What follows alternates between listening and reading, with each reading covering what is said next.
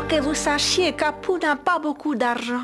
Vous en êtes absolument sûr, parce que j'ai le droit de le secouer en le tenant par les chevilles pour voir ce qui tombe de ses poches. Ça a été démontré au procès qui a opposé les avocats à la justice.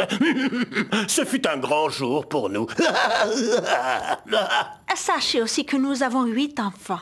Ça aura une incidence sur le plan financier Oh Possible. Ne vous vexez pas, mais vous me rappelez l'homme singe qui a tué les poules de mes parents. Oui, on me le dit souvent. Et j'ai besoin de réfléchir à tout ça. J'ai encore des sentiments pour Apu. Je comprends. Qui est Apu? Le visage du divorce n'est pas aussi beau que je l'avais espéré. Il doit y avoir une autre solution. Oh, mais vous les humains, quand comprendrez-vous que vos sentiments, comme vous les appelez, vous empêchent à chaque fois d'obtenir un joli paquet de fric?